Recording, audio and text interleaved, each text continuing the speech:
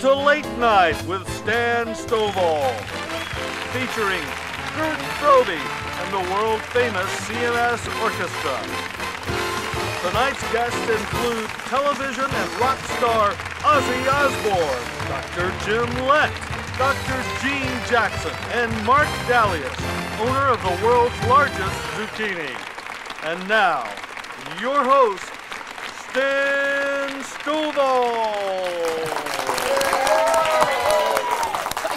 Thank you. Thank you. Thank you. Very much. How nice of you. Thank you. Thank you, everybody. Listen, I, I appreciate the thanks, but just keep in mind, I'm just a mere microbe compared to Gert Frobe and his Merry Men of Music, the CMS Orchestra, ladies and gentlemen. Excellent, as always. Hey, folks, listen, I just found this out. Did you know that Gert once saved a woman from being killed by, by a vicious wild animal? No, no, really. It's true. It's true. I wouldn't lie to you. He was on a safari, seems like in a place called Lampaland, and a fellow tourist was about to be charged by a rampaging uh, Vernicius canid, and... It, what? What? What's so funny? All right, okay, all right. Mr. Wonka over there, Mr. Barrel of Laughs. All right, let me finish the story. However, Hemingway here notwithstanding, uh, we have a fabulous show for you tonight. We, we, always have a fabulous show, of course, but tonight is very special. I have, uh, I've got to start, though, with an apology, as much as I hate to, but I'm going to have to. As you know from the opening of the program, Ozzy Osbourne was supposed to be here tonight, uh, live on our show. Uh, however, many of you probably have heard Ozzy had a minor accident, uh, something involving a tricycle and a sheep. Yeah, as strange as that sounds, a tricycle and a sheep. Uh, so he's in a hospital right now at home in the UK. However, since we're willing to go to any length to avoid any disappointment uh, to you, the audience, we've arranged a phone call with Ozzy Osbourne. That's right, a phone call with Ozzy direct from his hospital bed. Okay, all right, we're going to make that effort. And we're also going to bring back Mark Dalius and his world record breaking zucchini. That's right. As hard as it is to believe, yes, we're going to bring it. You know, we missed Mark the last program, but we uh, we've got him this time, and he's coming to us live all the way from Buford Shed, Louisiana. So uh, the world record-breaking zucchini is with us tonight, uh, and we appreciate it. And you know, just like one of those old Ronco ads, that's not all. How much would you expect to pay for Dr. Jim Lett and Dr. Jeannie Jackson, both on this program, live with us? That's right. That's right. Got a great program for you. So let's bring them out right now. Uh, Dr. Lett, Dr. Jackson, let's go meet them. Doctors? Good to see you. Good to see you. Dr. Jackson, to you nice again. to meet you. Dr. Pleasure, my pleasure. Have a seat. Sit down. Thank you. Sit down. It's good to see both of you. Uh, I know you had to travel in uh, to do the program with us. Uh, not too many hassles going through security these days. No, not Okay. too many. Just right. takes 20 minutes or so. Only had to take the shoes off about a half a dozen times to get through. Okay. All right. Always a pleasure to have a special guest with us, and we want to thank you for being with us. All right. I don't know uh, how to say this, uh, but we are uh, always thrilled to have special guests with us uh, on our program. And, uh, you know, we try to have some special guests. Believe it or not, Tonya Harding and uh, Nancy Kerrigan, the ice skaters, we try to have them here. Same program, same set. Didn't quite work out. Got kind of ugly. Uh, somebody, something about a crowbar and uh, you know bruised leg. Ooh, it was ugly. For two such lovely ladies too. So we're not expecting any problems out of doctors here today, are we? None at all. No, psychiatry has become fairly good friends with primary care over the last 10 years and long term care. Always good to know. No fights will break out in the Not set at here. all. All right. Now, you as regular viewers of our program are no doubt aware that we often have a live question and answer session with our guest at uh, periodic intervals during the program. This time, a little something different. We are going to open up the phone lines and the fax lines right now at the beginning of this program, and we're going to take some calls as they come in throughout the course of the show. So, if you have a question, there's no need to wait for that official Q&A session that we refer to. Just go right ahead, pick up the phone, and call it in. Call in your question. Uh, and let me give you those phone numbers right now. Uh, the phone number for the calls is 1 800 953 2233. And if you want to fax in your question, then you should dial 410 786 0123. Doctors, give you a heads up. We may sort of break into some of your presentation if we do get a call. That'll be okay with you? That'd be great. Okay. forward to it. We'd Thank you very much. the call. Uh, all right. Now, uh, just keep in mind the lines will be open, uh, and you should dial those numbers we just gave you if you want to get through. And we hope uh, that you will call in with either your question or your facts. And we want to move along. Dr. Jackson and Dr. Letter here to give us a, a taste of their expertise regarding the management of distress behaviors in nursing home residences. Is that correct? Exactly. Stan, this has become such an important topic um, to certainly the residents who are distressed and their families and staff, as well as to primary care physicians, medical directors such as Dr. Lett. Um, myself, as a geriatric psychiatrist providing consults, distress behaviors is what I do every day, all day. Generally, people don't come to me because they're feeling great. No, they wait until they're distressed. That's right. And so, one of what we want to do is just present ideas that we have about management, hopefully helping everybody to get a little bit on the same page. Okay, sounds like something we can all learn something from. Sounds like you have a game plan. True we do. enough. Okay, why don't you take it away and uh, we'll get prepared here. And uh, let me remind uh, our viewers right now, while you're getting prepared, uh, that if you do have the questions, go ahead and call them in. Uh, the phone number for the call-in questions again: 1-800-953-2233. If you'd like to fax your question in, then you should dial 1-410-786-0123. Okay. All right, Dr. Lett, take it away. Thank you, Stan. It's a pleasure to be here at CMS today. We're going to talk about distressed behaviors in nursing facility residents. Certainly, the, the most daunting thing I face every day is I practice in long term care, and I would suspect as surveyors, daunting for you as well. Uh, today, I'm going to give you the viewpoint of a physician who is in long term facilities every day, medical director of three of them. I'd like to let you know what goes through my mind when I get a phone call and what goes through the mind of the facility when we see a distressed behavior and try to address it.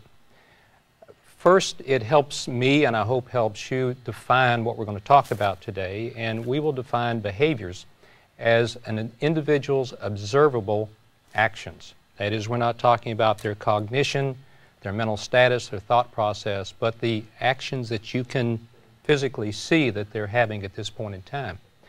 Uh, it's an interesting study that was done that showed the types and percentages of behaviors of residents in long term care facilities. Most of these you will have heard agitation, anxiety, irritability through delusions and hallucinations occur very frequently. One thing we sometimes forget is that apathy is also a behavior, and in fact, it is the most common behavior that we see in long term care. Why do we worry about distressed behaviors in long term care? Well, it certainly increases the tension between patients and caregivers, which is never a positive thing. It can create costly interventions, both in resources and dollars. Those who experience behaviors also have increased illnesses and death as a result of those behaviors. And we certainly can see the overuse of restraints and medications in those who exhibit behaviors in long term care. Now, we often talk about agitation as if behaviors and agitation are the same thing. And we'll define agitation as well for you. We consider it excessive motor or verbal activity that is either disruptive, unsafe, or distressing to the patient and interferes with their care and is not because of any perceived need that we can see. So while all agitation is a behavior, not all behaviors are agitation. What types of things might you see in agitation? Physical, from hitting to kicking, biting to scratching, verbal, threats, accusations, obscenities.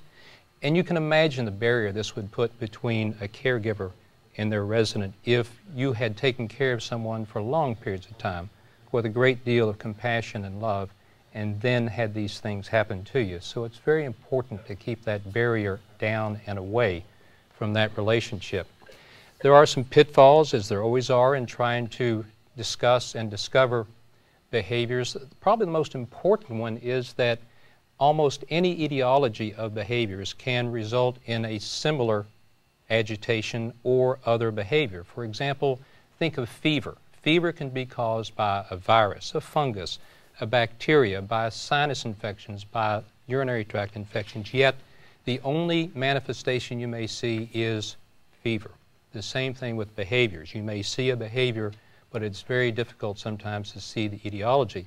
Plus, the people that we deal with have a huge number of risk factors, that is, other diseases, they may be on multiple medications, and they may have just changed environments, which can be very unsettling to this population. So, in order to address behaviors, you must then have a process to evaluate the resident for the behavior that you're seeing. The process that I'm going to present to you today is not the only process, it is not the only way, but I think it maintains and has most of the elements that about any facility or any physician will have in mind as they work through dealing with behaviors. The first step is to pick out the target symptoms, that is, the behaviors that bother you the most that you need to deal with. Second, a medical evaluation. Third, you should have a list in your head. That is a differential diagnosis of the potential causes for the behavior. Then, if an intervention is required, we've used something we call the ABCs of behavior intervention the antecedent events, the behavior itself, and the consequences of that behavior. The next to last bullet, I said document three times because it's so important to do. And last but not least, non pharmacologic intervention always is the first step. When we talk about target symptoms, the ones that we feel are good are anxiety, insomnia, delusions, hallucinations, depression, compulsive behavior, agitation, motor restlessness, and pain. Why do I say that? Well, let's go on to the ones that aren't good and we'll talk about the differentiation. Poor target symptoms that you see here are often secondary symptoms, that is, exit seeking may be as a result of hallucinations. Perhaps somebody's after them. It may be the result of anxiety, that they're worried and need to pace. So, poor target symptoms are ones that tend to be secondary to the prior good target symptoms that we pointed out on the last slide.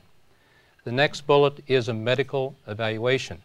Certainly, medical history and psychiatric history is key, but I have to be honest, in long term care, often a good medical history and particularly psychiatric history is often sadly lacking in that vacuum between the hospital and the long term care facility where that information seems to disappear from time to time.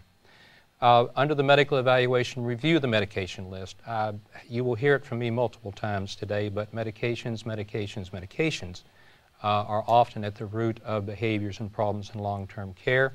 Certainly, a physical evaluation to look for some obvious causes for the behavior. That is, if someone's short of breath, I imagine they're going to be agitated. If someone has urinary retention, I can assure you it's uncomfortable and they're going to be agitated. The next thing is a mental status examination. Is the resident alert? Are they lethargic? Are they agitated? Are they confused? You need to have a baseline to work with against that behavior. Lab studies, including oximetry, uh, they're useful, they're good, and as we'll talk about in a minute, unfortunately, not always available. Uh, many facilities, particularly small ones, rural ones, outlying ones in uh, suburban areas, may not have proximity for getting lab studies done on a prompt basis. Oximetry is usually available in the facility and can tell you if someone is short of breath. Imaging studies, nice if you can get them, but again, the same problem, they aren't often available immediately. what types of medical illnesses might you expect? This is certainly not a comprehensive list, but one that will give you an idea of the types of illnesses that can cause behaviors that we deal with anything from reflux esophagitis, angina, side effects of medicines, chronic pain, constipation, hearing or vision impairment, sleep deprivations, even dental problems, all can cause agitation. Now, Dr. Jackson, as a geriatric psychiatrist, the role of the medical evaluation and specifically lab studies and imaging studies? Well, it's always important to think first about safety and how what's the acuity. So if a person is dangerous, we will often move to treat and, and, get them in a safe situation, knowing that our lab studies or imaging wouldn't come due for some days. Also, I think of a medical evaluation as as a process, you start out with what's obvious to you or what you think is, is highest in your differential diagnosis. You're not going to send someone in for an entire body MRI. You're going to send them in for what you think might be a problem. And as things become negative, then you keep looking. The premise here is that there's almost always things you can find and that it can often be more than one thing. So a person may have lost their hearing aid and have constipation. And with these kinds of residents, that's more the, the common thing. So even if you solve the problem, we try to do the full evaluation over time. I fully agree. Stan, back to you. Okay, Dr. Lett, Dr. Jackson, let me very quickly remind our viewers uh, that if you would like to call in with questions for our doctors today, then uh, we, we would like you to do that. Uh, two different ways you can do it. If you want to phone in your, your question, then you should dial 1 800 953 2233. If you'd like to fax in your question, then you should dial 1 410 786 0123. Let me give those numbers again because we want you to get on the phone and either fax them in or call them in right now so we can get right to them. Again, the phone number 1 800 953 2233. If you'd like to fax it, 410 786 0123. All right. Doctors? Oh, we do have a question. Okay. We have a call from Houston, I understand. Terrific. Okay. Caller, are you there? Brett from Houston. There we go. We hear you from Houston. All righty. Uh, I recently, this this question is for Dr. James Willett. Mm-hmm. Uh, I recently moved to Houston. I'm looking for a new family practice doctor to go to for my family's checkups and illnesses. How do I choose a doctor, and what are some qualifica- qualifications to look for?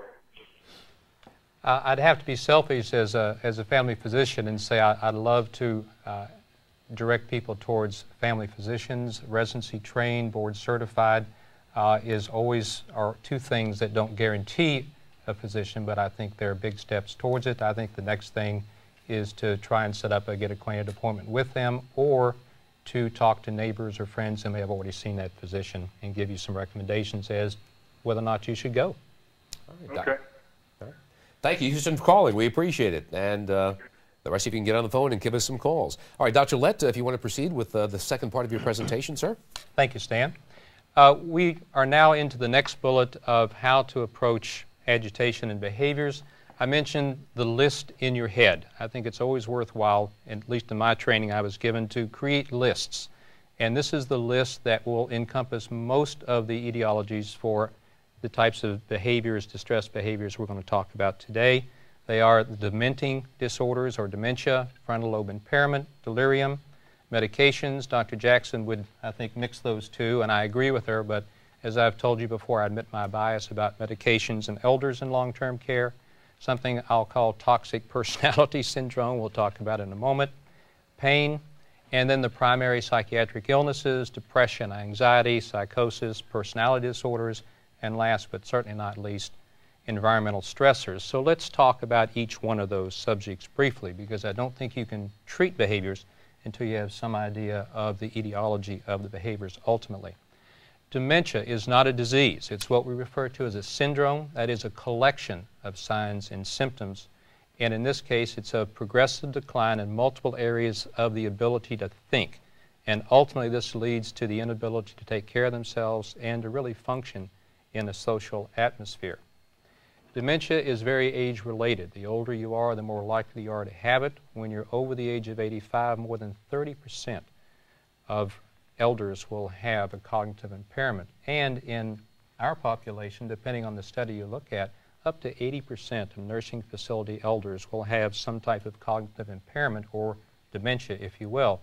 And it's really not surprising because they actually the most common cause of being admitted to a long-term care facility is the inability to take care of themselves on a functional basis.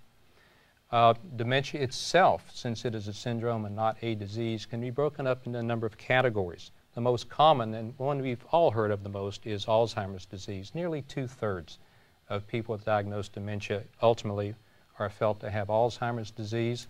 There is another category called Lewy body dementia, we'll talk about in a moment, that is coming up fast in the second place, and then a mixture of Alzheimer's disease with other things.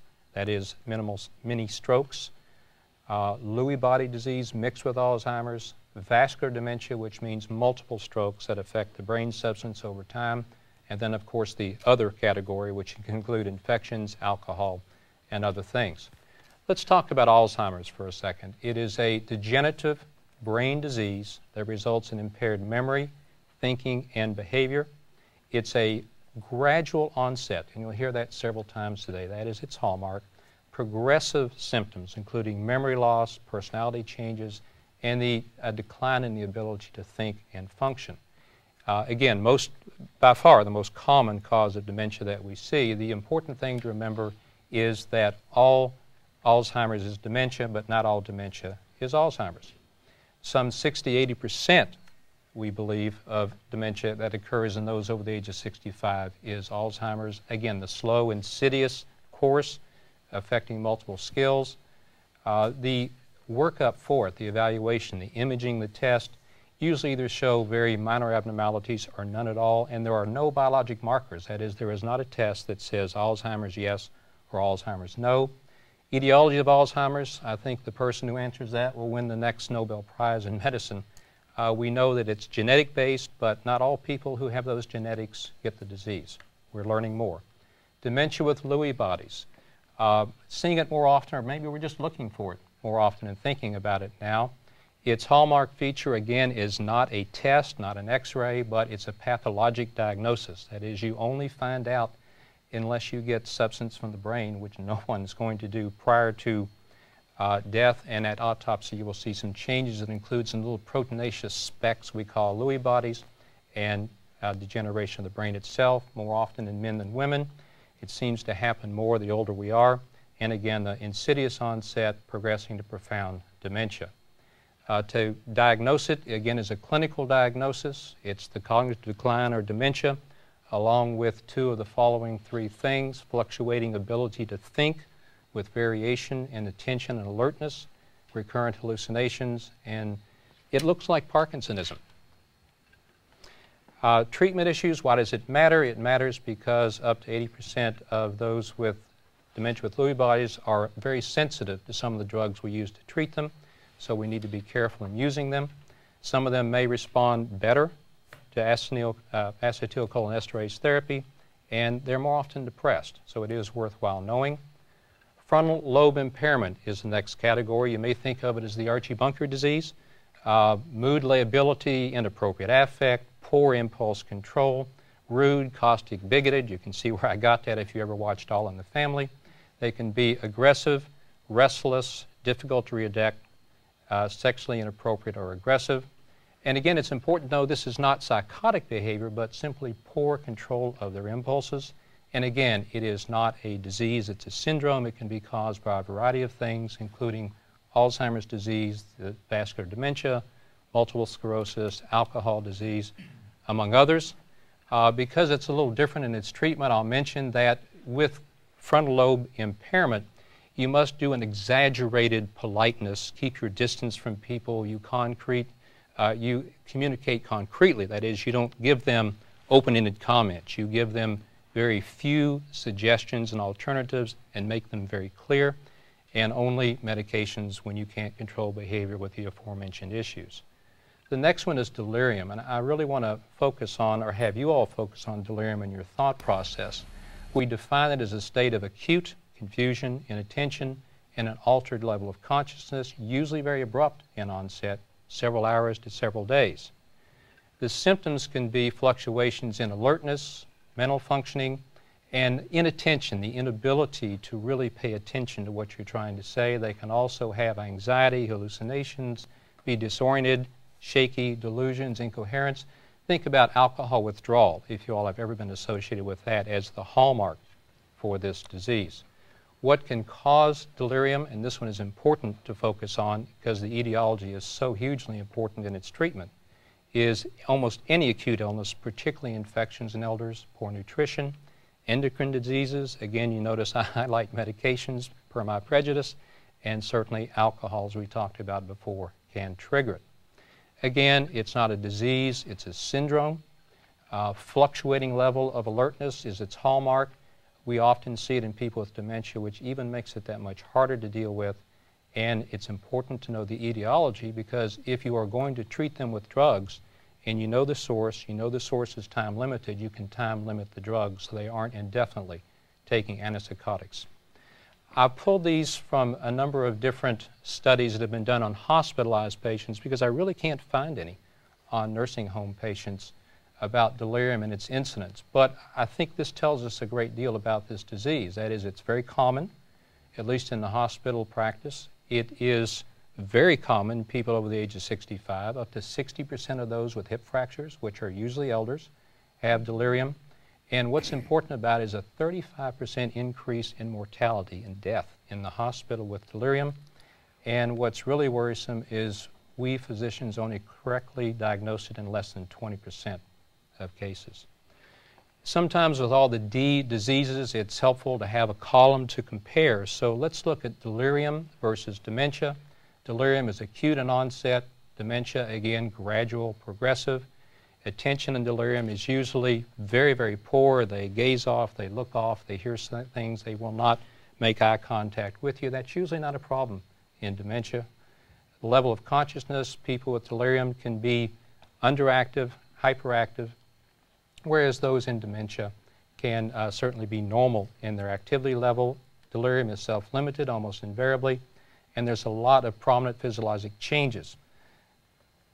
Depression, depressed mood for at least two weeks, again, a clinical diagnosis plus at least four of the following illnesses, uh, four of the following categories insomnia, sleep disturbances, weight loss, fatigue, inability to concentrate, guilt, even down to loss of pleasure, four of those plus the depressed mood. It can be diagnosed by something called the Geriatric Depression Scale, which is a questionnaire that you administer to the patient, and you get points for each yes within the score.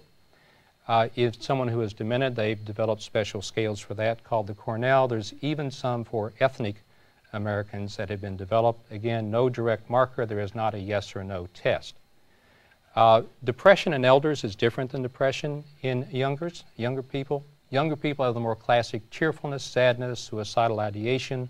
Elders, a lot more quiet, withdrawn, fatigue, multiple somatic complaints, irritability, and just loss of function Dr. Lett, if I could cut in for just a yes, second. Sir. I think we have a, a caller on the phone. Uh, I believe we have uh, Richard from Albuquerque, New Mexico, uh, on the line with us. Uh, Richard, are you there? Yes, sir. Yes, sir. Do you have a question for uh, Dr. Lett, Dr. Jackson? I sure do. I uh, recently moved to Albuquerque, and I'm looking for a new family practice doctor to go to for my family's checkups or illnesses. How do I choose a doctor, and what are some qualifications to look for? I think I know someone in Houston can, can help you out. this was for psychiatric illness? Did I hear that uh, correctly? Richard is gone now. We, we don't know if okay. it's psychiatric or I thought just, I uh, heard psychiatric medicine. illness. Um, one of the availabilities from the American Association of, AA, of uh, Geriatric Psychi- Psychiatry, AAGP, is that they have a list of physicians in every state. And so if you would call that number um, the American Association for Geriatric Psychiatry, they can tell you exactly who's been board certified and trained in geriatrics um, that can take care of elders for mental health problems. If it's a younger person, I think you would just have to rely on friends and acquaintances as to who knows of a good person. Dr. Lett, I apologize, but we want to get to those calls uh, when they come in, as they come in. Well- Okay, I so understand. I apologize. All right, sir. Uh, It was a very similar question. Thought it might have been the same person. And it may have been. Uh, in depression, it's the most common psychiatric psychological disorder that we see. Up to a third, perhaps, of nursing home residents have this. Uh, sadly, this third bullet estimates that of primary care physicians, perhaps we fail to diagnose depression half the time, and then when we do diagnose it, do not provide adequate treatment for half of those. So that one is one we need to work on. And what's important about depression is it's closely associated with functional decline and triggering quality indicators, which is very important for the facility. Depression often, often is comorbid with dementia, often post-stroke, maybe 30%. Uh, we need to be careful that we don't say, you know what, because someone's elderly, because their friends have passed away, I'd be sad too. You can't allow ageism to make it be a barrier to that diagnosis and always, always look for medical or medication underlying causes. Uh, depression, again, my bias with medications can be caused by a variety of adverse drug reactions. You notice in this list of drugs some from almost every therapeutic category, so please read the medication list. Again, the D diseases can become confusing, so let's talk about depression versus dementia, and sometimes both may happen in depression. Again, a more clear recent onset.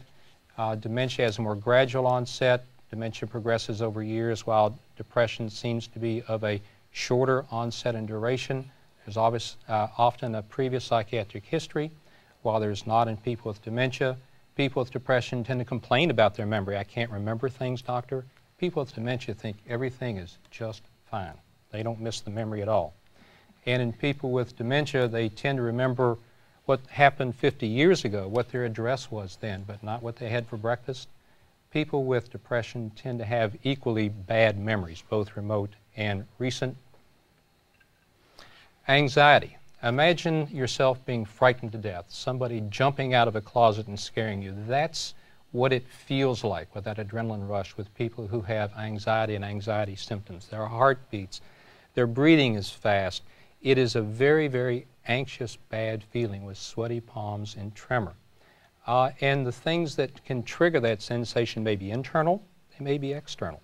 And they may be things that seem to be pretty irrelevant to you and to me, but they are nonetheless very real to the person who suffers from it. For example, I've had a resident who said that she became very anxious, was very distressed because she was elected secretary of the resident council of the facility. While that may not seem like an odious task to you and to me, it was to her, and he brought her her symptoms. And again, the anxiety symptoms are far more common than the actual disorder of anxiety. When you have anxiety symptoms, you should think about the differential diagnosis, the list in your head, if you will. Psychosis can cause it, depression can cause it, delirium, pain, or they can actually have a generalized anxiety disorder. Always you try to modify the environment to see what may be causing the anxiety, deal with it, and look to medications as always, but not always medications on the MAR. For example, they may be a diet soda drinker, they may be a heavy coffee drinker, they may be taking over the counter cold medicines that can cause anxiety type symptoms, and of course, always medical illness, especially thyroid disease, heart irregularities, can cause it.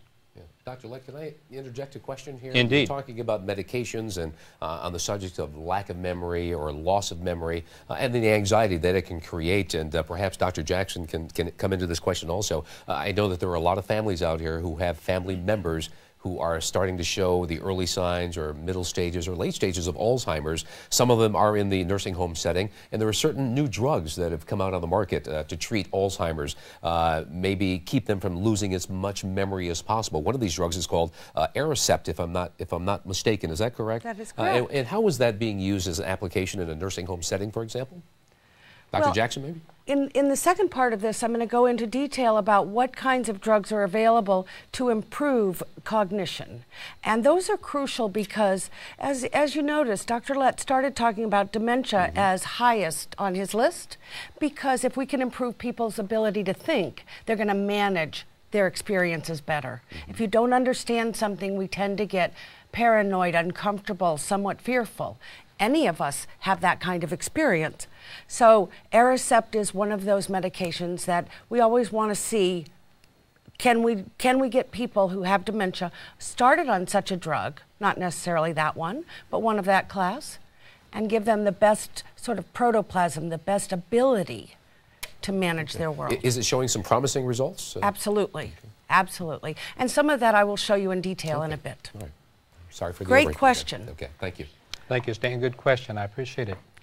The next list in the dementing disorders, or next on the list, is psychosis, which is actually impaired connection to reality. And I can give you an example of one resident I have who was developed shingles on the back of his head, with, which is quite painful. Mm-hmm. And when I asked him about the pain, he said, "Well, I know you've told me this, but I can confidentially tell you, doctor, that actually the FBI is pouring acid on the back of my head every day." So that is psychosis. That is impaired connection to reality. They may have hallucinations. And again, it's another of these diseases that is not a, it is a symptom, it is a syndrome rather than a specific disease entity. May be caused by a variety of things dementia, delirium, drugs, both too much and too little, as well as withdrawal from drugs, schizophrenia, mania, and then depression with psychosis as well. And again, as we talked about delirium, the, the type of diagnosis will dictate the duration of the treatment. You want to know what the etiology is so that you don't treat them longer than the necessary period of time. Personality disorders such as schizophrenia and mania also are under the, uh, that list of what could be causing behaviors. Um, we often tend to overdiagnose or get excited about the possibility of a schizophrenia or a mania in someone in long-term care, but the key to that is to look to the history. That is, people do not develop schizophrenia at age 75. There should be a long-standing history of such problems in order to make a personality disorder diagnosis. Those are usually diagnosed long before they arrive in long-term care. The toxic personality syndrome is kind of a tongue-in-cheek. It's not a disease, it is a personality type, and we've all seen them, both young, old, and middle age. And the point here is that when people are not very pleasant when they're young, chances are they're not going to change as they move into long-term care. The personality type is hypercritical, angry, they're accusatory. There doesn't seem to be anything that you can do that really seems to make them happy. So it doesn't require treatment, nor does it respond to treatment. However, we would ask both the facility to recognize that that doesn't require treatment and have the surveyors realize as well when they talk to some residents that some of them just aren't very happy and they're not going to be. Stan, back to you. All right, Dr. Lett, thank you very much, and uh, certainly can't wait to hear the rest of your presentation because uh, it's very helpful for a lot of folks. Uh, however, I'm reminded that uh, we are uh, obligated uh, contractually, by the way, obligated contractually to look at some viewer mail right now, and I just happen to have some of it right here. So let's go right to our very first letter. And this one is from a gentleman by the name of Mr. Al Coleman from Minneapolis, Minnesota. Al, thank you for writing, I think. First, this one says Dear Stan, I'm a little confused about the nature of the universe. Can you explain it for me? Okay, well, Al, I'll try to do my best. Let me say, first of all, Al, uh, that perhaps you're a little confused uh, a little more than the nature of the universe. For example, do I look like Stephen Hawking to you, Al? hey, the universe, it's big. It's really big. It's really, really big with lots of Bernie stuff in it, you know, some kind of explosive things in it too. You know what I'm talking about? Look at it this way it's just a really, really, really long apocalypse now. Does that explain it for you, Al? All right, good enough. Okay, let's go to our next letter. I hope that helped you some, Al. Uh, this next letter is uh, from a young man by the name of uh, Timmy. And Timmy writes uh, Dear Stan, Dr. Seuss became famous by writing a book using only 40 words. I was thinking that maybe you should try that with one of your broadcasts. Uh, it could do wonders, wonders for your ratings like we worry about ratings here, Timmy. All right, Timmy, let me try to answer this one for you, Timmy.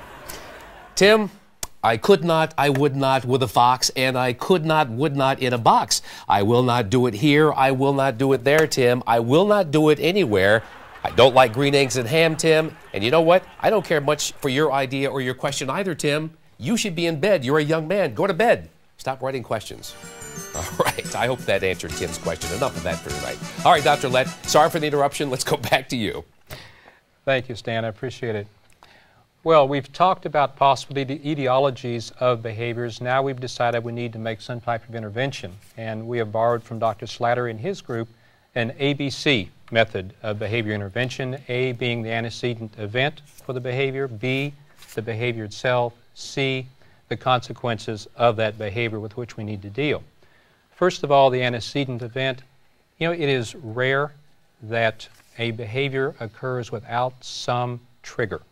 It may not be obvious to you, it may not be obvious to me, but I can guarantee you it's very obvious to the resident involved.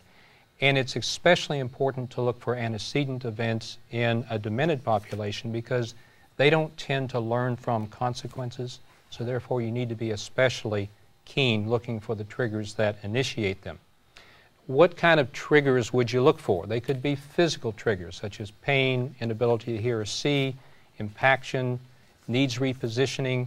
They could be emotional triggers. They're afraid, they're distressed, they're frightened about something. Environmental triggers. It could be the lighting, it could be the heat, it could be the number of people around them or the activity. Task triggers. That is, a, a task such as even brushing their teeth or putting on their shirt may be an insurmountable obstacle to them. They get frustrated, they get angry, they develop a behavior. We need to find those and take those frustrations away. And then communication triggers. It can be very vexing not to be able to say what you think or hear what people are saying to you. Those can often trigger behaviors. Certainly, we mentioned environment and stressors. Very, very applicable here to the A part of the ABCs. Decreased control, crowding, stimulation, Burnout of caregivers can also do it, as well as not feeling the residents feeling their approach with respect and not redirected in a proper fashion. B, the behavioral event, and that is any behavioral episode that is disrupt or adverse, and I italicize this on purpose, jeopardizes. Jeopardizes the safety of the resident, other persons, or objects in the environment because the goals of treating behaviors are to reduce the risk of injury to the resident and those around him or her, reduce the patient distress itself, minimize adverse drug effects by minimizing drug use, maintain the resident in the best environment, and an important piece is recognize for whom this behavior is a problem. And the example I'll give you is a very lovely lady. I was called by the family in the facility, said, Go treat her. She's having hallucinations. This isn't right. When I went to see this lovely lady. She's sitting on the edge of her bed, staring off into the corner, smiling. Very benignly, lovely smile. I knocked on the door, walked in, introduced myself, spoke with her. She was very pleasant, but kept looking off into the corner. And I said, Do you see something there? She said, Oh, yes, I'm dancing with my husband. We were married for 50 years. He died last year. And we used to love to dance. It's what we did every weekend. We danced. And I loved to watch us dance. And I left the room and told the family this is not a treatable behavior. This does not jeopardize. It actually augments her life. So define for whom it's a problem before you feel you need to treat a behavior. Well, what are the impacts of behaviors? Here's a nice study by Sauter and his group that determined that 25% of behaviors required no intervention at all, and less than 1% resulted in injury to others, less than 1% injury or physical damage to the environment. Any percent is high, but these are relatively no numbers when you think about the number of behaviors we see. But the last bullet is very telling. The intensity of resources necessary to control behaviors, an average of 24 minutes of staff time required per intervention. When you think about an average facility being between 100 and 150 beds, it's a lot of 24 minute increments of time. C, the consequences. It is, if possible, if you have a cognitively intact resident, if you can give them positive reinforcement, and as a physician, I hate to admit it, but we have some patients who respond very well to being given a cigarette and allowed to smoke outside with good behavior. Now, in people who are cognitively not intact, they don't understand consequences, and that's why we go back to the antecedent, the A part of the ABCs, to talk about trying to reduce or eliminate the triggers that bring them about. The next bullet on how we approach behaviors is documentation, and it is just so important. It is important to diagnose it or to document it in the orders on a monthly basis, which I now see done almost all facilities where I attend. Uh, it's good to get in the progress notes, the IDT notes, uh, and the IDT, the interdisciplinary team notes certainly need to keep in mind those target symptoms that we talked about earlier what's been done non-pharmacologically, what's been done pharmacologically, and what are the results of those interventions, uh, especially results aimed at the target symptoms. How did they respond? And if you possibly can, something that is uh, concrete. That is, if you have something like depression and you've used a geriatric, depress geriatric depression scale prior to treatment, use it periodically afterwards to see if your intervention is making a difference. Where do we tend to fall down in long-term care and documentation? This article in 1999 in a 108-bed community nursing home says that we do a pretty good job in indications. 95% of the residents on antidepressant therapy and antipsychotic therapy in this study got documented why it was necessary, basically what was the target behavior. But the outcome of that intervention was only documented in a little over half, some 57%. And adverse drug monitoring, probably one of the most important things that we deal with, was only documented in about 20%. So what's the take-home message? The take-home message is we need to do as good a job in monitoring outcomes and adverse drug reactions as we do in documenting why we use drugs to begin with. The last bullet is non-pharmacologic interventions. What behavioral strategies can you try before you talk about medications, which is what Dr. Jackson will be bringing to you shortly. Certainly in cognitively intact residents, behavioral contracting, positive reinforcers, as we talked about, even written contracts, communications with people will be somewhat useful. Those who are not cognitively intact, one-on-one intervention, but that is intensely resource uh, expensive and difficult to sustain redirection, distraction of the uh, cognitively non-intact resident, even things like traffic controllers, physical people standing in the hall at breakfast or lunch directing wheelchairs, go this way, go that way, and I've even seen facilities who have painted or put tape lines on the hallway itself, wheelchairs going this way to the right. Uh, even those things seem to help. Signs and symbols, amazingly, putting up stop, signs on rooms you don't want them to enter or if you want them not to leave for any period of time, and even the wander prevention nets or ribbons that are velcroed across doorways are very useful, remarkably. Uh, sometimes, after having heard all the bullets and our good ideas about interventions, things happen that are so dramatic, so dangerous, so jeopardize the, the environment and the resident that you simply have to take action. But you should, at some later date, whether it's the next day or whenever it's appropriate, go through the uh, paradigm that we talked about, looking for why did it happen in the first place. One last thing, I've told you my bias about medications and elders. Here it is again. I, I try to always talk about the prescribing cascade. That is, using a medicine, then using another medicine to take up for a side effect from the first medicine, then you give another medicine because there are side effects from the second, and before you know it, you have people on multiple drugs that may not need to be on them. And let me give an example of someone with depression. You put them on antidepressant, that is an exciter type antidepressant. They become insomnic. You then put them on a sleeping pill at night because they can't sleep. You, they then, because they can't sleep and are on this medicine, become more agitated and even psychotic perhaps in their behavior, and they're on an antipsychotic. So you now have somebody who is depressed who is on three different drugs at this point in time, not because they have three different syndromes, but because they have adverse drug effects that really weren't recognized from the first one. Stan, back to you. Dr. Lett, I've got a very quick question for you, if yes, I could. Uh, is, uh, talking about medications, and, and, I know that you are not a, a big advocate of medications. Uh, let me ask you, when it comes to, let's say, taking multiple prescriptions for dealing with uh, psychological issues, can you explain the impact on a medical point of view of mixing so many different psychological type drugs? I, am not sure if Dr. Jackson is going to address that in her segment, but I'd like to get your comment on it as well. She will, and I'll, I'll, go ahead and put my piece into it now. First, it's not that I dislike medications. It's, they're wonderful. They are wonderful creations. However, uh, they should be used for a very specific purpose and that purpose only. When you start mixing drugs, you, you are taking someone, someone being an elder who may have or probably does have impaired liver function, impaired kidney function, perhaps heart disease, lung disease.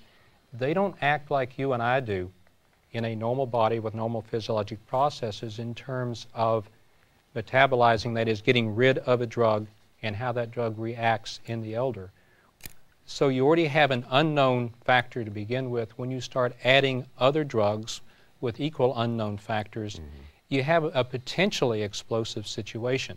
This doesn't mean that I don't prescribe multiple drugs it means I do it with a great deal of caution and forethought. Yeah, but, but the potential exists for exacerbating existing, existing medical conditions. You keep adding more and more medications for that is correct. Okay. You certainly can induce medical conditions from the adverse drug reactions to medications okay. you're given. Okay. Dr. Lett, thank you very much for a very informative presentation, and we're going to hear from you a little bit later. I just want to remind our viewers that uh, our phone lines are still open, our fax lines are still open. If you'd like to call in your question, the number to call again is 1 800 953 2233, and the fax number to call is 1 410 786 0123. Okay. Dr. Jackson, I believe. Uh, your time to take it away here. That's great. I'm going to talk more specifically about the psychotropic drugs that you can use to treat the various illnesses that you have defined through the process of assessment. First of all, psychotropic drugs is a very broad term, and a lot of people have different opinions about what it actually means at least in my training, it was defined as a medication that affects cognition, mental status, mood, behavior, any of the things that affect the brain's ability to function and perceive. Now, CMS and our regulations has divided that into four different categories. Things such as antipsychotics, antidepressants, anti-anxiety medications, and hypnotics. But there are two other categories that are very important, and those include our cognitive enhancers, becoming more and more important as we learn about the benefits of improving cognition and behavioral control, as well as the mood stabilizers. So, although they are not discussed at length in the regulations, we as good clinical care need to be including these.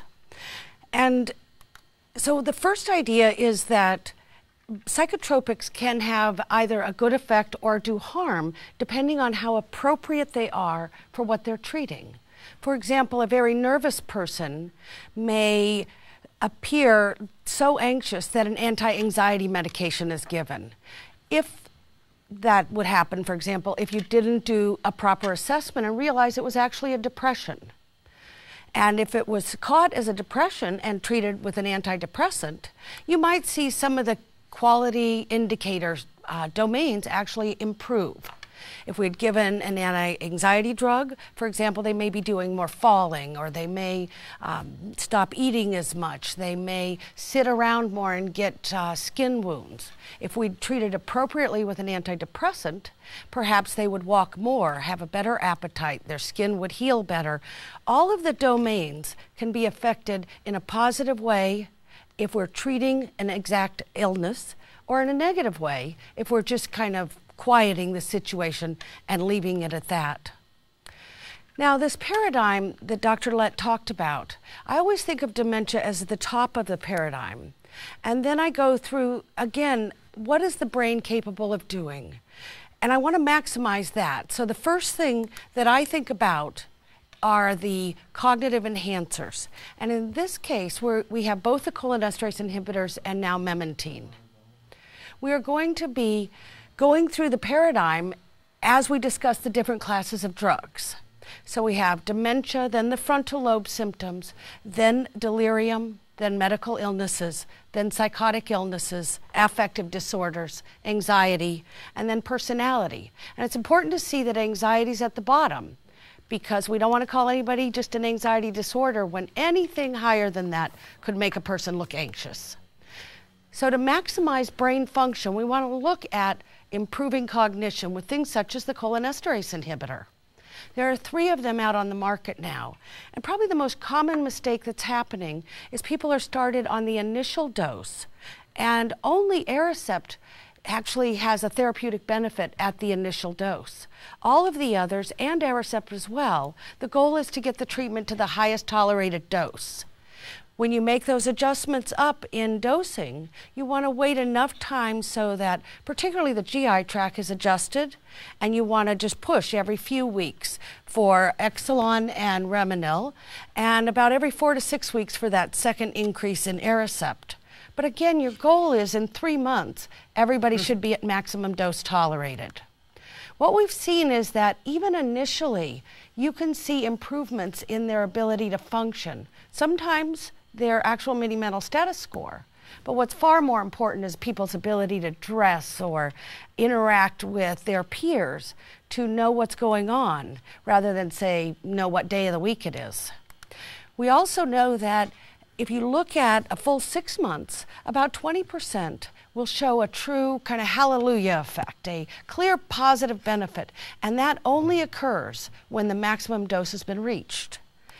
We know that if we wait that six months or a year, about 80% will remain above baseline.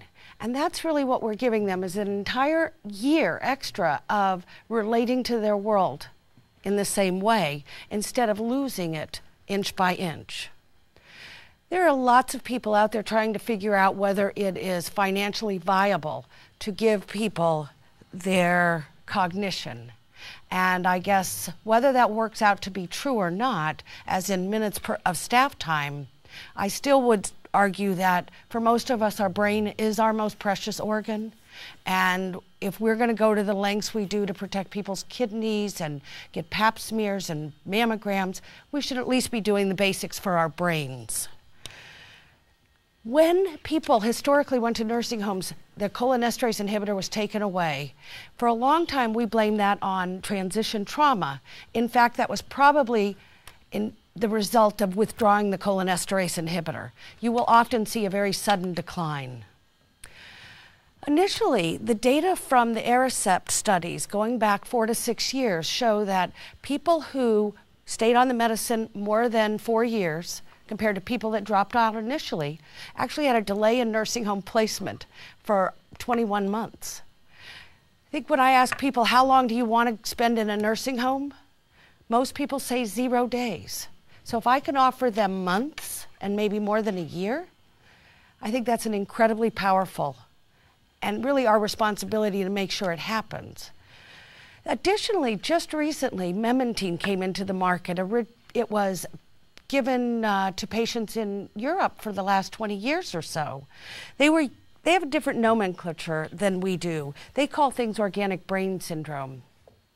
I, I never knew what that meant. I don't know of an inorganic brain syndrome. So when I think about Namenda, it's given a whole bunch of hope now.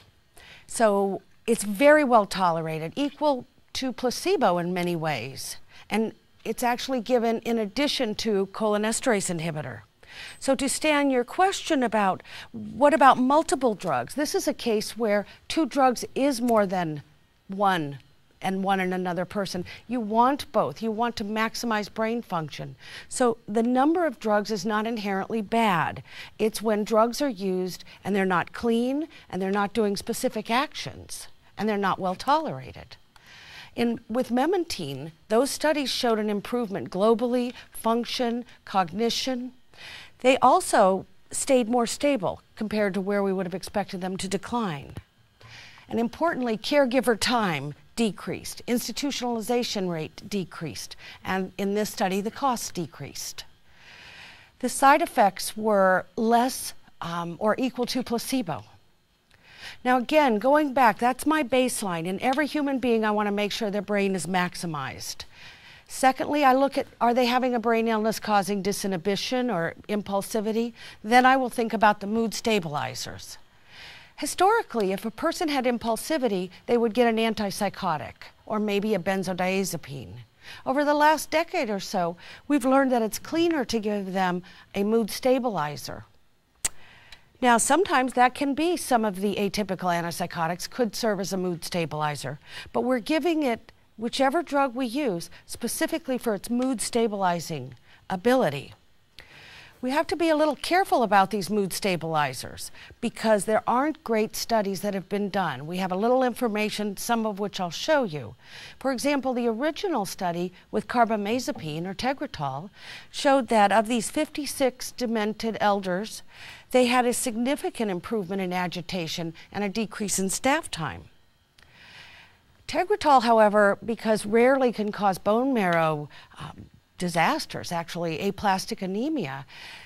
We've been hesitant to use such a drug, and newer anticonvulsants have come out um, that, although they're being just studied now, we don't have a lot of data. And that would include things like um, Topamax or topiramate, um, and Neurontin or gabapentin. So the old standard was Tegretol, then Depakote came into being. We tend not to use lithium because of its poor tolerance in the elders. So we're still even learning the mechanism for how mood stabilizers work. The advantages are they don't have the movement disorder risk. Even very low serum levels, much less than it takes to treat convulsions or seizures, can be very effective in giving people a little bit more impulse control. So we're looking at how should we document. So I think it's always true if you have a drug you're going to use, you have to tie it to an illness and in what exact symptoms you're going after to treat, what are the risks of that medication, how are you going to monitor it, and when are you going to reconsider it? Because remember, demented people's brains are shrinking, they may not need the same drugs in a year.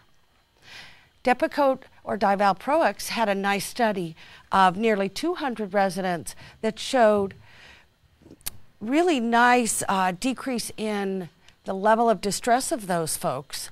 Uh, there's a nice graph here showing almost um, within two weeks, people were remarkably better.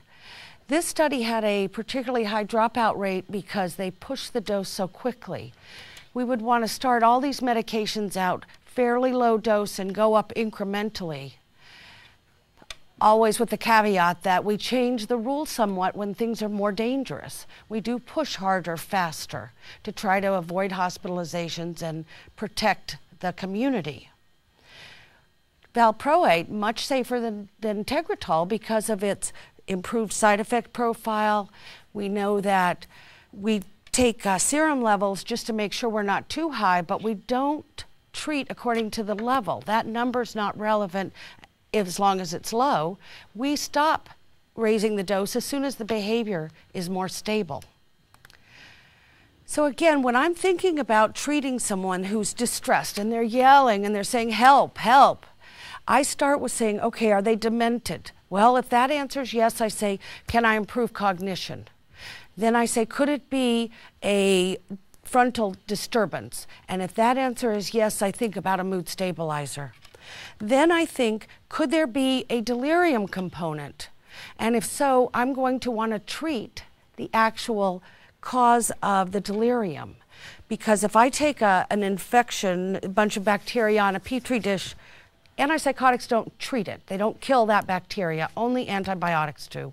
We've got to get to the cause of the delirium. And if I need a short term antipsychotic, I'll use it. Then medical illness. And again, this is where I would say remember that, that things that affect mood aren't just what we call psychotropics. Iron can affect mood if it makes you constipated. I don't know anybody who's more cheerful constipated. And so when I'm thinking this entire paradigm through, I stop at that point and think through medical problems. Are you? no, no. It, it's just. Well, we have outpatient uh, appointments available. There Stan. we go. Listen, I just wanted to interrupt you. It seemed like a, an appropriate time to do it. Uh, we got a couple of faxes here. Uh, folks are loving the PowerPoint presentation. We got a, a fax from uh, the staff at uh, Grandview Good Samaritan in St. Peter, Minnesota. Well, would it be possible to get copies of the great PowerPoint presentation that you are that you're using today? Let me just simply tell the folks at the staff at Grandview that if you go to the CMS website, and that website is cms.internetstreaming.com then you can pick up the PowerPoint presentation that is being presented right now.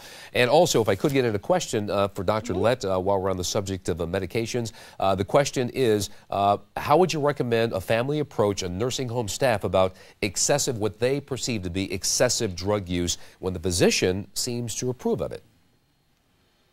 It's, it's a very good question and sometimes hard to broach. But I do believe that the best thing to do is first sit down with the staff, see if the staff has similar concerns or they feel that the medications as they've been added and as they're being used in conjunction are helpful. If they are, then you should have some reassurance that there's a good reason for the medicines. If the staff seems to have doubts or is unsure whether those medicines are making any difference, I think it's worthwhile contacting the physician, talking with him or her, sometimes even in conjunction with the staff and the physician, because physicians will be in making rounds on a regular basis.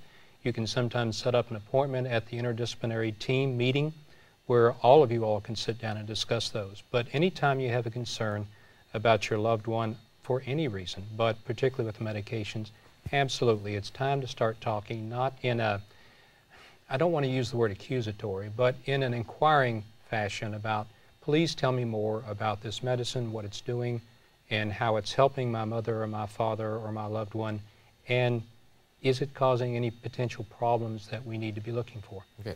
Dr. Jackson, I think I'm feeling better now. Okay, you can, you can proceed now. Terrific. Okay. I do think that in my paradigm approach, again, medical problems can affect people's level of distress. And so looking at every single medicine is a critical fact factor in getting somebody's distress under control. It may be that they have had a history of reflux and they're not on Prilosec. And again, I'm doing kind of the devil's advocate argument here that I don't want people to throw the baby out with the bathwater. Unnecessary disregarded medicines. People twitched once, so they got an anti seizure medicine for 17 years. That kind of thing is absurd and shouldn't be tolerated. We need to assess and make sure every medicine has a function. But it's better to give people treatment. For example, if they're in pain. My sad fact is that most people in pain in long term care do not get treated because they don't have the language to say the words, I'm in pain. And so, even though 80% have arthritis, we don't give routine Tylenol because of our complete obsession with more meds is bad. It isn't that more meds is bad, inappropriate medications are bad. If you had 16 meds and you had those kind of problems and everyone was perfect and had a benefit, then that's fine. And I, I really feel strongly that I don't want to be too black and white about the medication issue. So as I'm going down my paradigm, I'm not going to allow myself to think about antipsychotics per se, eh, other than an emergency, until I have gone through the dementia, the frontal lobe assessment, the delirium, the medical illness factors. Then I could think about is there a psychotic process going on? If so, based on my assessment, I then start to think about the antipsychotics, which, as you know, have a large amount of regulations relating to them. We can only use these medicines if they interfere with function or cause danger to themselves. Just calling a person agitated is an insufficient reason, and I actually would argue that the word agitation should be banned from the entire language because it doesn't tell you anything. One nurse's agitation is another nurse's, they're just fine, they're always like that. And the charting is terrible. And so if it's hitting that you mean, please write hitting. If you're talking about someone spitting or calling you a cow, then that's what we write. And that's what we target um, for our monitoring. And so I would agree with this rule that agitated behavior should never uh, be used. I like that Cohen Mansfield, uh, the slide we had, and I'll post that at nursing home stations, and they use those words to describe. It's certainly clear that you could never use an antipsychotic without appropriate documentation. None of these regs would be new to, I think, anyone out there. There are many psychotic disorders that often need long term, if not lifelong, treatment. Most of our work goes into this 11th category, organic mental syndromes, which again is an older term, but presuming that it's a new onset illness like a dementing disorder, that's okay to use an antipsychotic for those situations if certain criteria are met. And things such as the behavior has to require intervention. You have to assess do you think it's a moment or a more permanent behavior? Could it be caused by social or situational issues? Has the daughter been gone? That kind of thing. Environmental causes have been ruled out. Medical causes have been ruled out. That's a little more problematic for things like um, urinary tract infections and delirium and psychosis because they often do go together. You want the symptoms to be persistent. If they're only there for five minutes and gone, it would be a sad thing to give that person a drug that lasts all day. And it can't be caused by a preventable reason, which is a difficult concept to know what that means, um, at least for myself. I think about organic mental syndromes and using antipsychotics. We want them to have specific behaviors. They, they have to be dangerous or they have to be of such a level that you can't provide care for them. Or they have to be truly psychotic, such as hearing voices, seeing things that are not there, or being paranoid. And I agree with Dr. Lett completely that if someone's only visitors are the little children and they enjoy it, please leave them alone because that is a good thing in their life. Our job is not to make them like us. Our job is to help these people become on the right side of content. So, a person who's just wandering around or, or sad or fidgeting or just saying, leave me alone, should never get an antipsychotic because number one, that's not emergent. And number two, I can't believe you're already there on the paradigm. I will guarantee there's something higher, like the dementia or feeling depressed or that they uh, have some medical problem or medication we haven't addressed. Maybe it's depression, but antipsychotics wouldn't be called for. We know that we have to treat specific conditions for these drugs. We know that we have to try to decrease the doses. We used to say there was no drug approved for agitation. That's going to be changing because IM Zyprexa is going to get an indication for acute emergent type um, agitation and aggression. It's not on the market yet, but it has been approved. But typically, these drugs are reserved just for aggression and true psychosis. But I would disagree heartily with all of our regs that say that it's okay to wait six months.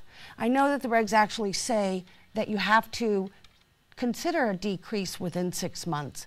But what ends up happening is we've lost sight of why are, what are exactly are we treating?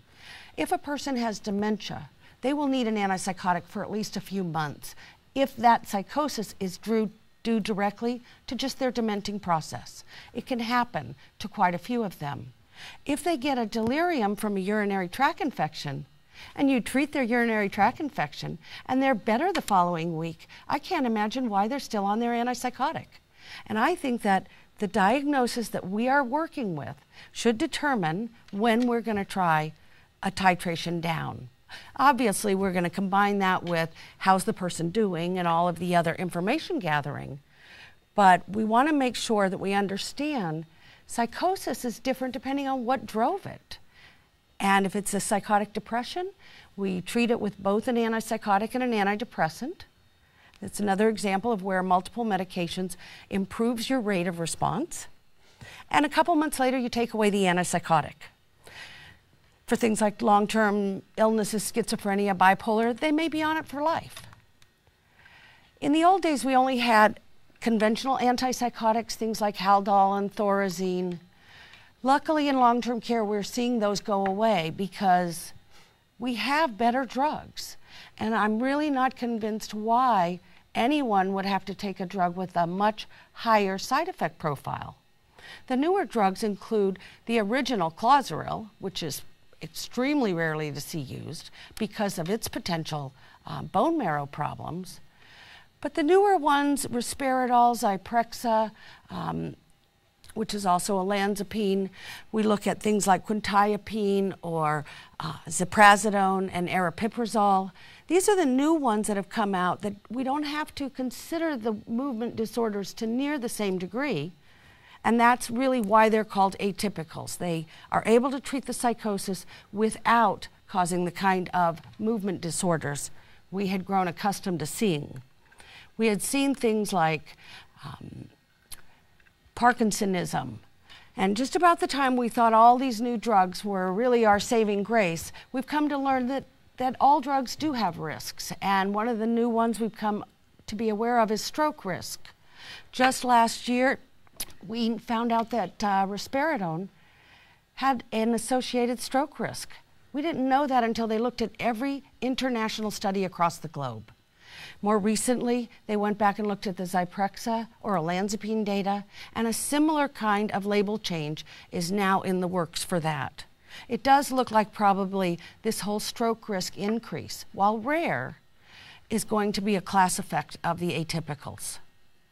So, whenever you're thinking about atypicals, you want to include the stroke risk factor in your assessment.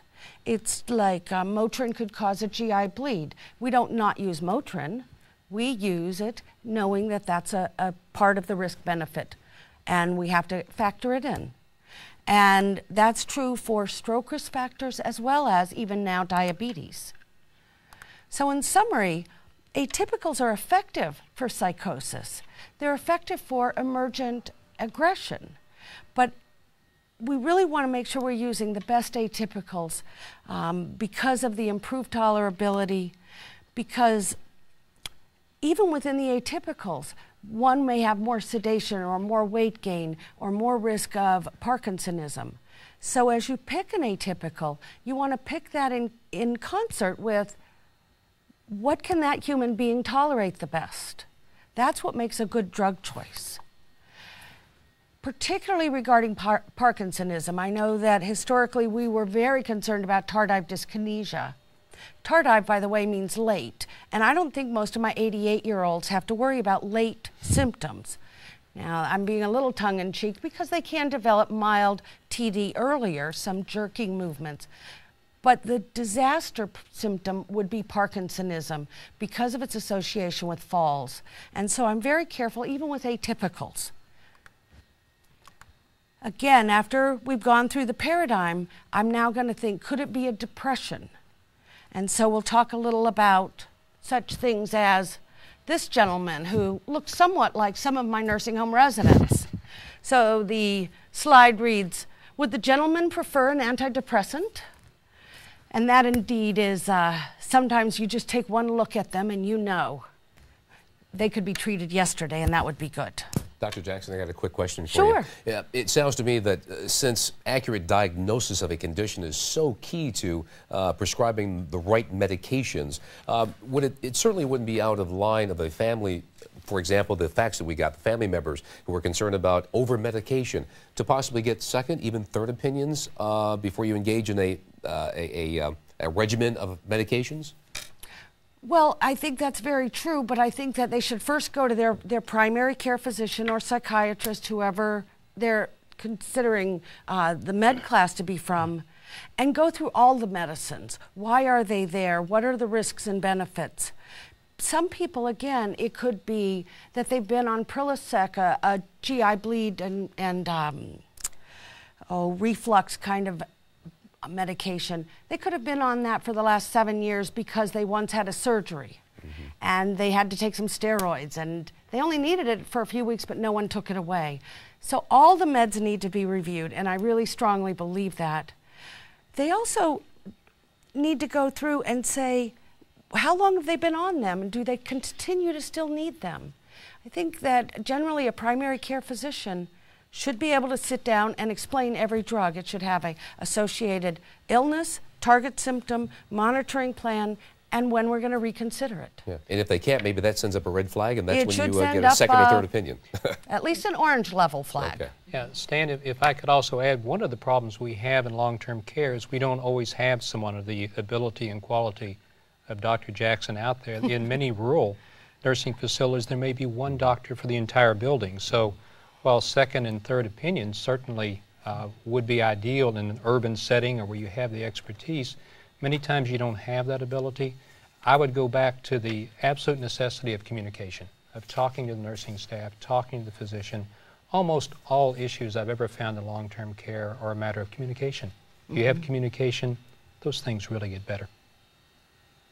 Okay. Uh, Dr. Jackson? Sure. So, looking at our next part of the algorithm, depression, it's really important just to emphasize that just because a person has a good reason for depression doesn't mean we wouldn't treat it. If you have a good reason for pain, we don't withhold treatment. We treat your pain, correct? And the same thing would be for depression. Doesn't matter if they've lost their home, their job, their wife, their pet. It may be true that they've had a lot of stress to develop this illness, but their chance of recovery and having any pleasure in life requires treatment. And as much as I do believe in our adage of start low and go slow, the greatest mistake I see regarding depression is that people are started on microscopic doses that really, in good studies, show them to be the same as placebo. And that's the kind of medication use that I find very tragic. We want to start low, go slow, but we want to get somewhere. We have to go. Our job is not to take them from miserable to mediocre. Our job is to help get them to be the best they could be. And one way to do that is to monitor. First of all, our MDS system doesn't assess depression very well at all. I think all would agree with that. But simple things like a geriatric depression scale that the patient fills out and you can grade. A happy answer is great. A sad answer, like do you enjoy getting up in the morning? If the answer is no, that counts against you. So if you have more than five out of 15 questions sad, that weighs heavily. You need treatment. And if their score, let's say, is 10 and you treat them, you come back in six weeks and their score is six, then you say, okay, we're on our way. And you come back in another six weeks to see if you've really done it. So the Cornell, we would use a CNA, uh, the secretary, a family member, anybody who knows the patient well could fill out the Cornell. It's so easy and it's so much better of a way to monitor what is going on with your treatment intervention.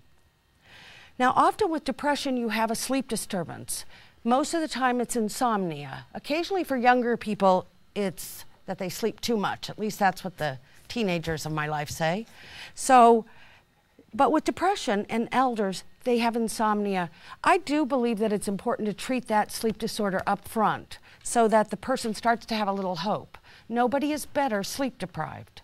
So even though I'm going to be starting an antidepressant, I'll consider a trazodone or an Ambien or um, a Sonata, that kind of thing, for the first couple of weeks, and then change that to a PRN by then hoping that the antidepressant, by treating the actual driving force, will have resolved the sleep disorder. Once you get them up to a real dose and they're doing great, you have to really be careful about when you might want to take it away because if you're 88 years old and I take your medicine away and you relapse, I'm going to, it's really going to destroy a good three or four or five months while you relapse and we restart the medicine. So there are times when I will kind of not follow conformity which was all done, by the way, for younger people. where we're supposed to try taking the medicine away after a year. If they're quite elder, if it was a serious depression, if there was a hospitalization, suicidality, failure to thrive, I simply don't take them off their antidepressant if they're tolerating it well. Common antidepressants, we now have lots of choices in the SSRI um, category. The non serotonin reuptake inhibitors like uh, Wellbutrin or bupropion, mirtazapine or Remeron, venlafaxine or Effexor, those are also very good medicines, and we will often use those um, targeting particular side effects or that we want. Or they may have um, illnesses where a side effect will be to their benefit. We tend not to use trazodone as an antidepressant. One of the confusing things in long term care is when we look at what is our treatment rate for depression, trazodone is being included. It's not being used as an antidepressant. Trazodone's a great sleeper. If we gave people enough trazodone to treat their depression, they would not be awake enough to enjoy their remission. So we look at, let's say someone's very very frail, not eating, not sleeping. In that case, I would choose perhaps Remeron or mirtazapine because that'll get them sleeping and eating quickly. I might choose sertraline or Zoloft if they're very constipated. Um, if they have irritable bowel syndrome, I might choose Wellbutrin because it's one of the ones that actually slows your gut down. So you think about the combination of that drug and that person. Dr. Jackson, can I ask you a question right quick sure. since we're going through the ABCs of uh, the drug world? Yes. most of which I can't even pronounce, by the way. Uh, but we do have a fax here that came in, and it's about the very thing that you're talking about. Uh, the question is with the rising cost of medications, the newer atypical antipsychotic agents generally cost more, uh, and oftentimes insurance won't cover it. So, if a family has to manage the cost of medications, sometimes they're left with having to make a choice which one they want to, which one they should go with when it's cost effective and not cost effective. Uh, well, I think that it's an important issue about the direct cost, and I think that's a, an issue we need to contend with. The fact is, these drugs cost several dollars a day on average. And if you were to give someone a very cheap medication like uh, haloperidol, I don't know, it costs about nine cents a month. And that drug, you could give a lot of people treatment for their psychosis. But one simple hip fracture is twenty to thirty thousand dollars when you include all the surgeries, the hospitalization, the rehab, mortality. It's just how many Zyprexas and Seroquels can we give for one hip fracture? And the problem, in, in my opinion, is that everybody has their own tunnel vision of where the money comes from. Typically, in long term care, we have Medicaid patients, and to my knowledge, most all states are allowing for pass through costs for antipsychotics, and we have private pay. And private pay are going to spend down until they become Medicaid. And so, again, if it were my own loved one, why would I let them be exposed to something that will make them drool, flat, shuffle, fall, when I wouldn't have to for the price of a few hundred dollars? Saving the cost, yeah. That's my own bias. Obviously, it's a biased belief. Yeah. Dr. Lett? In, in, the managed care world, and many of these patients we're now seeing in long-term care are in managed care, they often will have a preferred formulary that does include the typicals, if you will, and not the atypicals, unless. And the unless is that often the physician can complete a form. There's, always right. a form. Right. Uh, in which you can say the resident has either failed treatment with the typicals or there are overriding reasons right. why they should get the more expensive atypical drug. So that's always an avenue to take. I'm not aware as to whether the Medicaid formularies allow that escape at this point in time. I don't believe so, but you'll have to check each individual state. To my knowledge, every Medicaid uh, formulary allows at least one atypical. And again, this is because we're talking about a frail population. 70 to 80 percent have uh, dementia, and so walking is already difficult when they've only opened their eyes and woke up in bed. We already know they're going to have trouble. So these kinds of medicines make a much bigger difference than, say, a 25 year old schizophrenic with lots of padding, really good reflexes, great vision, all of those things that don't exist anymore for our elders. When you think about these medicines, you know, a lot of times there is pressure for more medicines, both from the doctor's point of view, they want to do something for the distress that they see, but also from the patient or the family's point of view. They say, I can't stand what I'm seeing, it hurts so much, do something. And in this particular cartoon, the woman sits down and says, I think the dosage needs adjusting. I'm not nearly as happy as all those people in the ads. And that's like uh, the Zoloft or the sertraline little happy face bouncing around. We imagine sometimes that these drugs will make us happy. That's not their intent or their use. They are to help you have the capacity to do the best you can. They don't actually make you skip or sing or any of those things. So now that I've gotten past depression um, and the affective disorders, and by the way, I often stop there and think a little about could I be missing a bipolar? If a depression is there, maybe I missed the earlier manic episode. And that's an important distinction, so you end up treating it appropriately. But after and only then do I allow myself to think about an anti anxiety drug other than in an emergency. Okay, so I think about an anti anxiety drug. Our, our regulations say things like you have to use a short acting one, you have to keep the doses within a certain limit. We need to do behavioral monitoring, knowing that nobody's telling us how to behavior monitor. And I guess this is the point where I will say to everyone however, we developed these Q shift charting to write down a zero or a one didn't work. I think every one of us have gone into facilities and looked at people who were clearly distressed and looked at behavioral charting that was filled with zeros, which I was trained to understand means they're perfect. But they're not perfect. The way to, to monitor people is not with these Q shift forms. There's no research on this. All research tools would use some other kind of validated instrument. And so it's time that we kind of did a better job with our monitoring. Again, using the GDS or the Cornell for depression. If you're looking at behaviors that are erratic and multiple, you can use things like the Cornell, I'm sorry, the Behave AD or the Cohen Mansfield. Again, very easy, very easy. Even a CNA, a family member, the neighbor who knows them well could fill these out. And we could actually monitor well. Other things that we're asked to do is to consider a dose reduction twice within a year before we say that it's clinically contraindicated.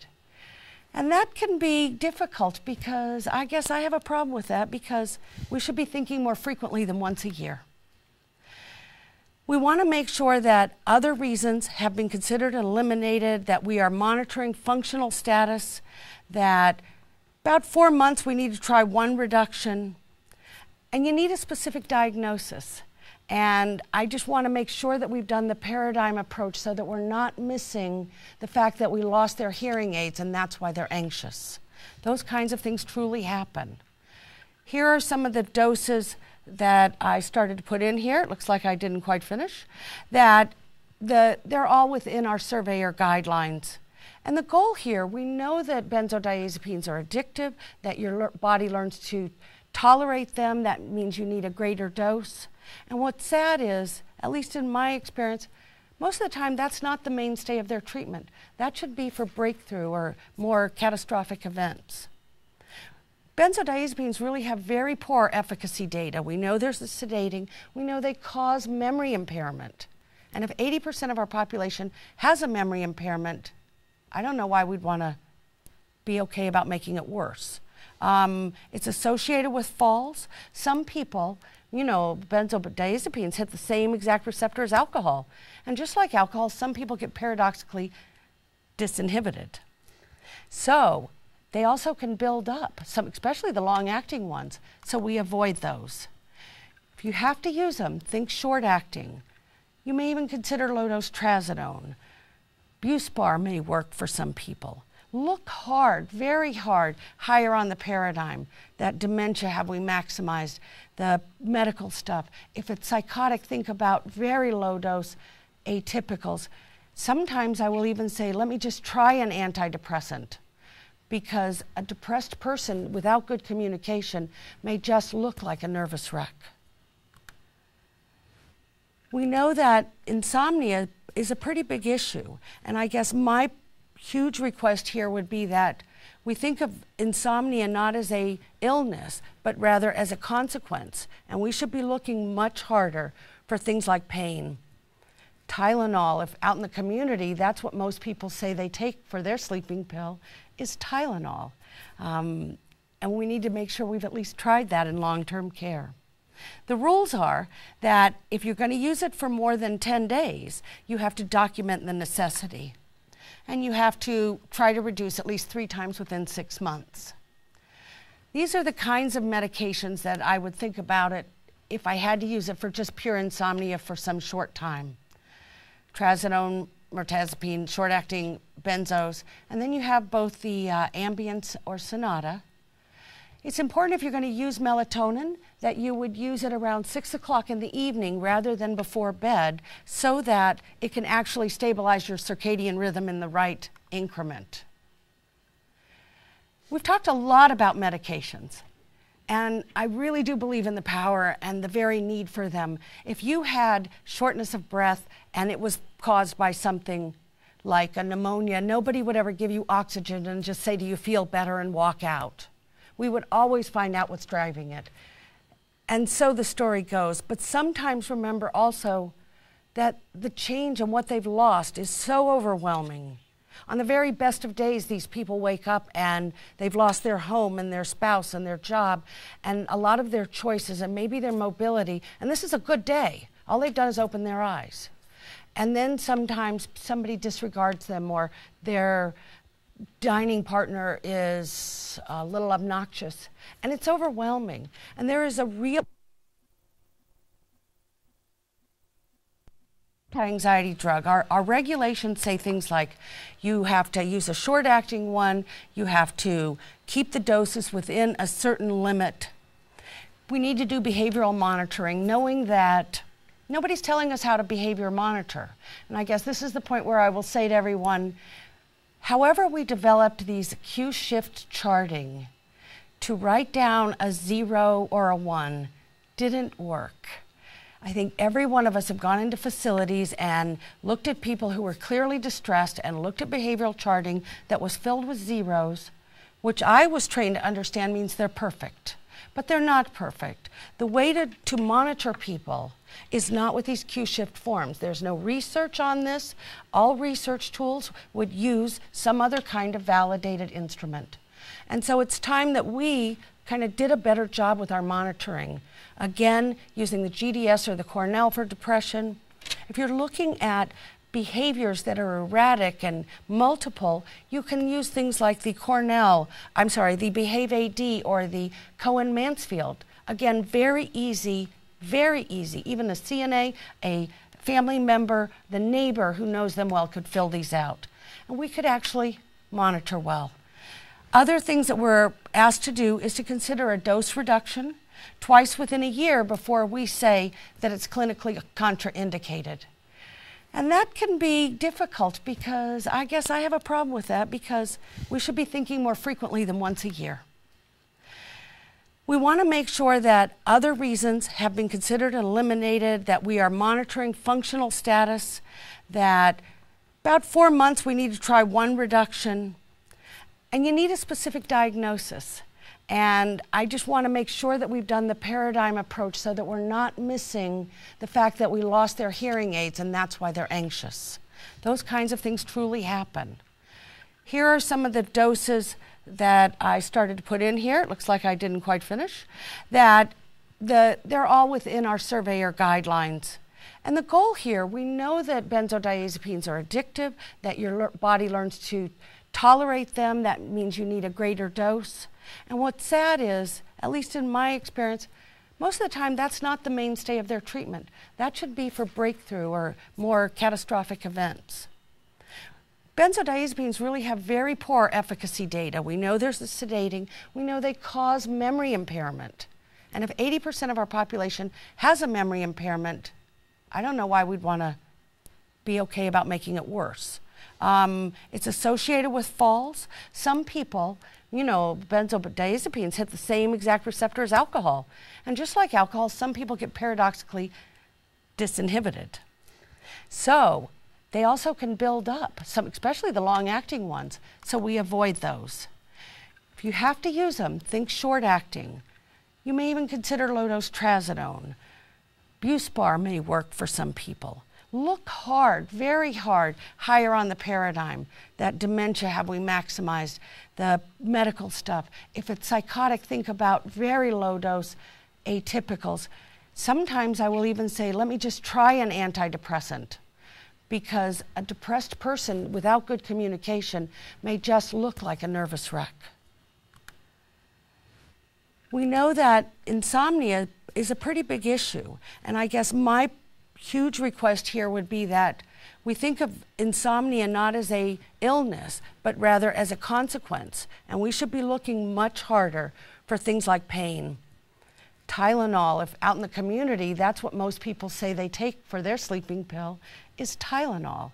Um, and we need to make sure we've at least tried that in long term care. The rules are that if you're going to use it for more than 10 days, you have to document the necessity. And you have to try to reduce at least three times within six months. These are the kinds of medications that I would think about it if I had to use it for just pure insomnia for some short time. Trazodone, mirtazapine, short acting benzos, and then you have both the uh, Ambien or Sonata. It's important if you're going to use melatonin that you would use it around 6 o'clock in the evening rather than before bed so that it can actually stabilize your circadian rhythm in the right increment. We've talked a lot about medications. And I really do believe in the power and the very need for them. If you had shortness of breath and it was caused by something like a pneumonia, nobody would ever give you oxygen and just say, Do you feel better? and walk out. We would always find out what's driving it. And so the story goes. But sometimes remember also that the change and what they've lost is so overwhelming on the very best of days, these people wake up and they've lost their home and their spouse and their job and a lot of their choices and maybe their mobility. And this is a good day. All they've done is open their eyes. And then sometimes somebody disregards them or their dining partner is a little obnoxious.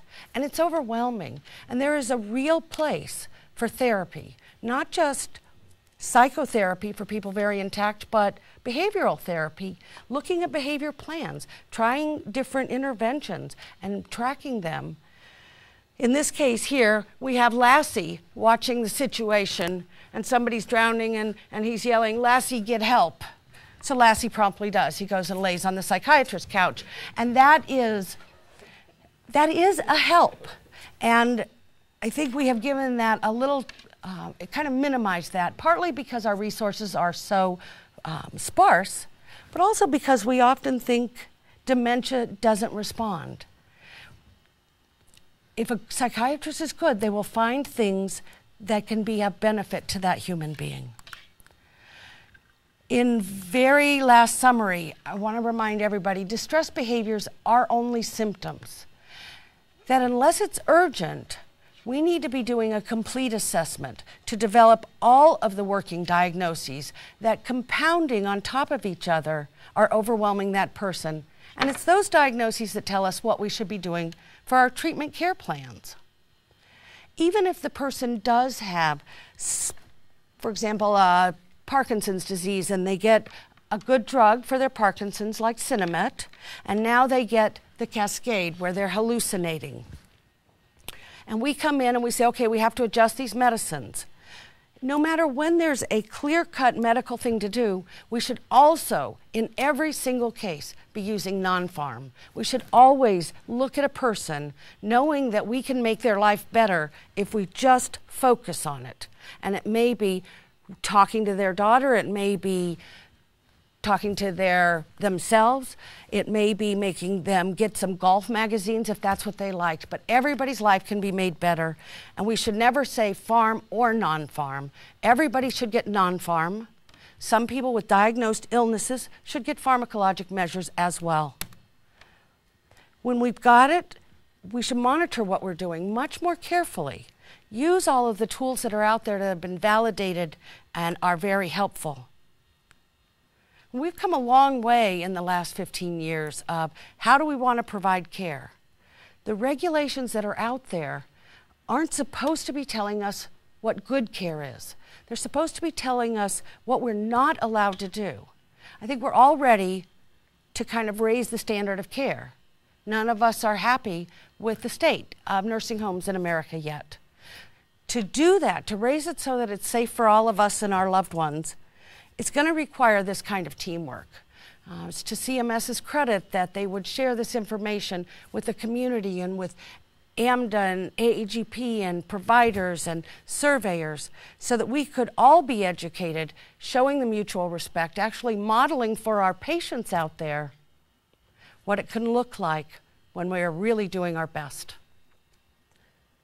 With that, you know what? You have given us such a dearth of information, uh, Dr. Jackson and Dr. Lett. Uh, first, I want to thank both of you very much for being thank here you. today and offering up uh, expertise uh, presentation on your particular fields of expertise. Thank you very much for joining us. And I also want to thank our viewers out there, for those of you who tuned in today, for those of you who phoned in, for those of you who faxed in with your questions. Thank you very much. It's what helps to make these presentations uh, uh, very positive and upbeat and informative. Uh, we're sorry we couldn't get to Mark Dalius and Ozzy Osbourne on this particular show, but uh, Oh, well, that's showbiz, isn't it? and remember, you can see this entire broadcast for up to one year from this date. All you have to do is go to cms.internetstreaming.com. Again, that's cms.internetstreaming.com. You can see this program for up to a full year. And be sure to join us for our next broadcast. It's scheduled for January 16th, our broadcast on preventing falls with Dr. Courtney Leiter. Until then, just keep in mind, remember, it's what's on the inside that really counts. For now, I'm Stan Stovall. Good night, everybody.